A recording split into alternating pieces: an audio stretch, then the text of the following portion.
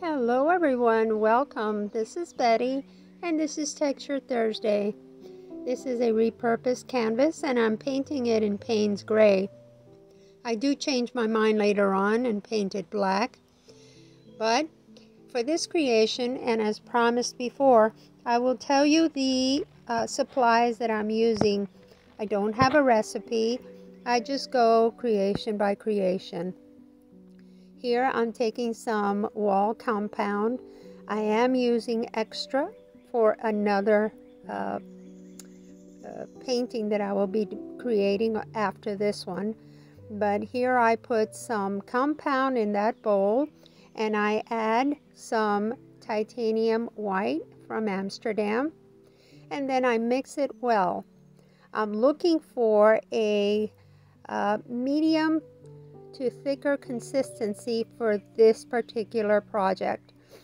Here I will lift up the paddle a couple of times to see how thick it is and I have to add some sand in it as you will see here I go adding some sand to make it even thicker.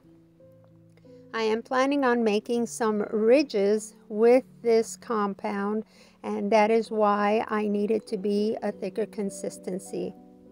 So once I have reached the consistency that I believe is good, I will take uh, the mixture and put it into a piping bag.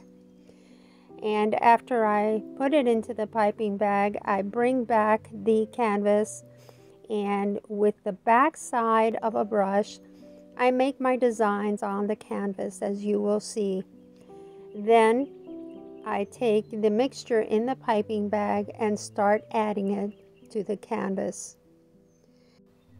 This textured art piece was 100% inspired by Mii paintings, my paintings. And all the pigments that I am using today are all this little piggy. I hope you enjoy this video. As always, please let me know if you have any questions. Leave them in the comment area and I will respond to them. Let me know if you like what I am making here by giving me a thumbs up. And if you haven't subscribed to my channel, please subscribe.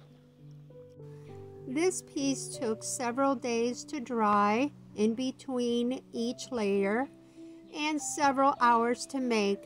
So I have speeded up this video about four times uh, in order to make it about 20 minutes long. Before me was Taz from Taslima Maya Art and if you missed her video, I will put her link in the description area. Please go back and watch her video.